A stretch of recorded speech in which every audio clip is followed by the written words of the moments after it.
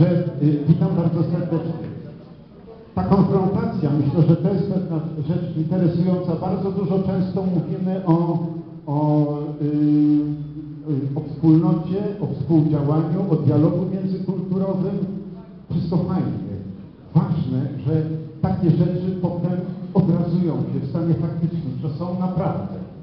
I tak też się stało. Ta wystawa jest pewnym pokłosiem takich znakomitych relacji z Tajlandią, artystami tajlandzkimi, które mamy. Y, Pragnę dodać, że y, odbyło się takie niezwykłe y, spotkanie y, niedaleko, a no w Izabelinie, który jest jakby taką nieformalną stolicą Parku Narodowego.